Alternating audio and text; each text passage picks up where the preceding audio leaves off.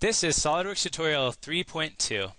In this lesson, we're going to talk about using the sweep tool.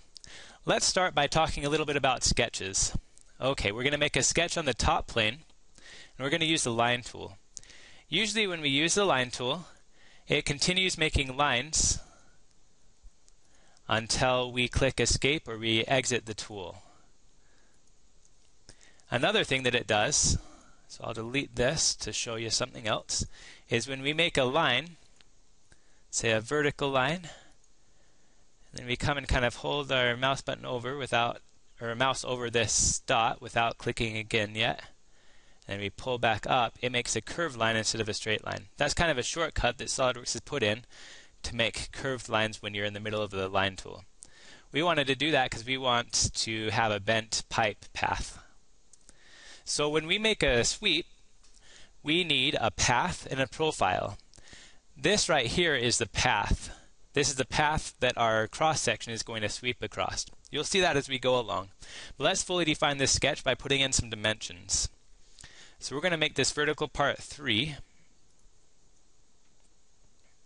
You can see as we fully define this sketch, other things that are blue shift to make it fit and the things that are black will now stay in place. So the more dimensions that we put on, the more defined our sketch is. We're going to have this radius be 2 inches, and we're going to have this be 3. Okay, when you have diagonal lines, you can define a dimension by the y component, by the x component, or by the hypotenuse. In this case, we want the hypotenuse. And we want that to be 3 as well. Okay, that last line is not fully defined because it needs to know one more thing. If we're not sure what it needs, then we can click on one of these blue dots and kind of see where it's not restricted. That angle is not restricted. Also, we want to put a tangent relationship between this line and this curve. So go ahead and make sure that tangent is in there so that when we're moving it around, then it stays tangent to it. It wasn't doing that before. All right.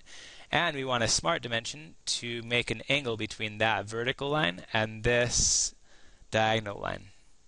And we want that angle to be 60 degrees. So we'll go ahead and accept that dimension and exit the sketch. Okay, so now that we have this path, we want to draw the cross section that will be swept along this path. So let's go to an isometric view. You can kind of see that we drew that on the top plane, so it's laying flat there. At one of the ends, we want to draw the profile. So we're going to start a new sketch, and it's asking us for a plane. We're going to pick the plane that intersects the end.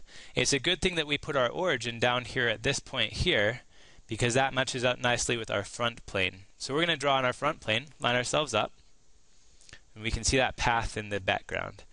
We're just going to do a simple circle starting at that origin and dimension it to be 0.5 inches. Alright, so put in 0.5, enter, and accept the dimension.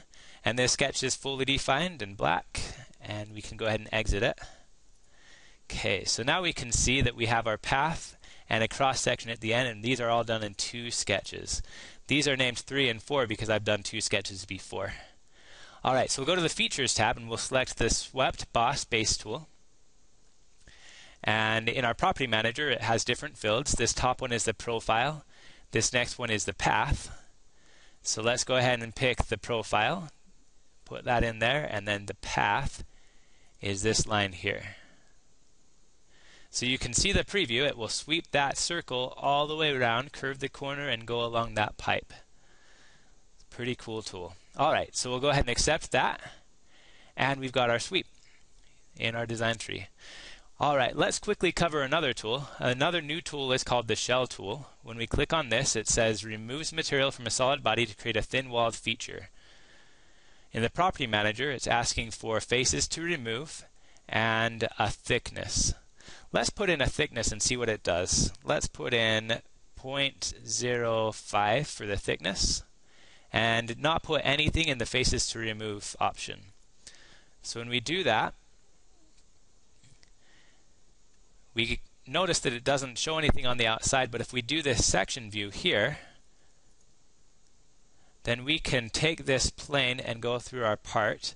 You'll actually see that dark blue means that it's solid material, and then you can see that this tube is hollow. So that shell tool made the whole thing hollow to that thickness. And it's totally enclosed because we gave it no faces to remove. So this section tool is kind of helpful to see what's inside our part if we don't know. So let's go ahead and click X because we don't want to keep that. And let's go and edit our shell tool.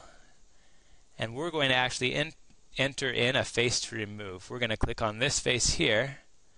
And we're going to click on this face here. You can click on as many faces as you want. And show preview. Let's see what that does. So it kind of shows us a preview with those yellow circles how thick it's going to be in, in certain places. And we'll go ahead and accept the shell. Alright, now we can see that it's open to the outside just like a pipe all the way through. So that's a pretty cool thing for the shell tool. Alright, let's say that we didn't use the shell tool. So let's move our time back. Let's go back in the sweep tool and in this cross section here. So we could actually have done it a different way. If we modify this sketch, we can make another circle inside and dimension it to this certain thickness, maybe a distance between the two, and we'll make that 0.05. And we'll go ahead and exit the sketch. And that does the same thing. We haven't used the shell tool because we've gone back in time, but we've done the same thing with the the cross-sectional sketch for our sweep. So you can see there's two different ways to do that here, and you've got to decide which one's the best. And that's the sweep tool.